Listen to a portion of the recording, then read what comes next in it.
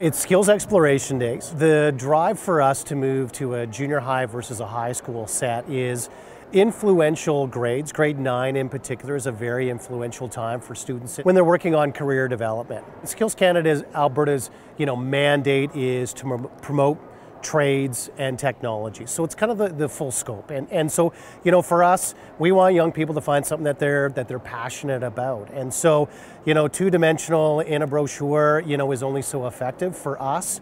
We're looking at full sort of experiential learning opportunities and, and this is very much reflective of that. So it's, it's hands-on, it's, you know, see it, try it, touch it, smell it, really sort of immerse yourself in, in these things, get hands on with it.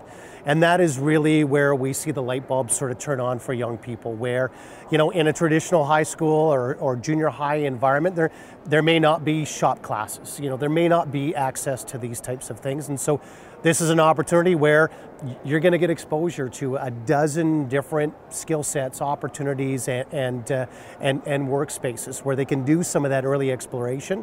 So for each one of these event areas, you've got that technical volunteer base that's here. So all of these people are accredited volunteers, they're either working at NAIT and SAIT or in the high school environment. They all have a background and a passion in these areas to be able to share that to young people.